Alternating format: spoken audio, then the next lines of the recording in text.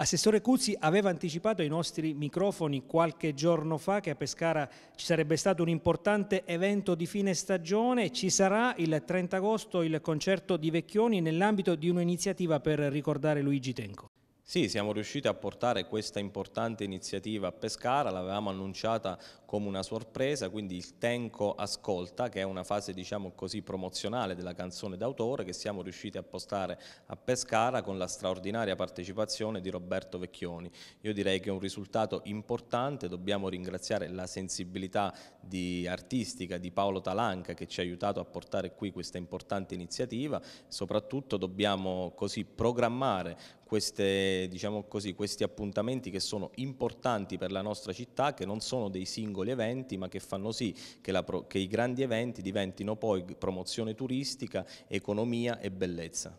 Un evento importante per chiudere eh, l'estate sarà eh, l'ingresso gratuito ovviamente in piazza Largo Mediterraneo per tutti i pescaresi, tra l'altro prosegue il cartellone estivo che avevate allestito per il mese di agosto. Sì, l'evento è totalmente gratuito, si serrà il 30, come dicevi bene tu prima, al Largo Mediterraneo, eh, lo Stadio del Mare, ma l'estate prosegue perché noi abbiamo voglia eh, di animare anche il settembre di questa stagione che fino ad oggi per il tempo ha creato non pochi disagi, quindi ci sarà saranno diversi appuntamenti, certo questo è l'evento di punta, l'evento principe ed è un evento che ci crea diciamo così, il sorriso e fa sì che la nostra città torni sul panorama nazionale anche per quanto riguarda la programmazione e la canzone d'autore.